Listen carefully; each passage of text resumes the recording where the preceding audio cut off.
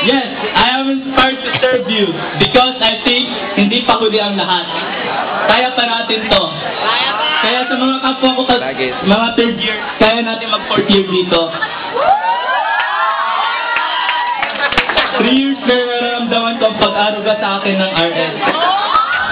May isang taon pa ako para mag-serve sa inyo. Kaya, hayaan niyo akong maglingkod sa inyo dahil yun na ang kasiyahan ko sa isang taon kong pag-stay dito sa Regional Science High School.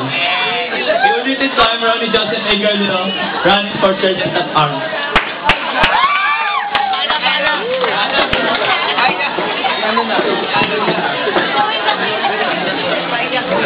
Sorry for Marita. Patahimikin mo. Patahimikin mo. Ay, di. Demi pala. Ay, di. Jimmy pala.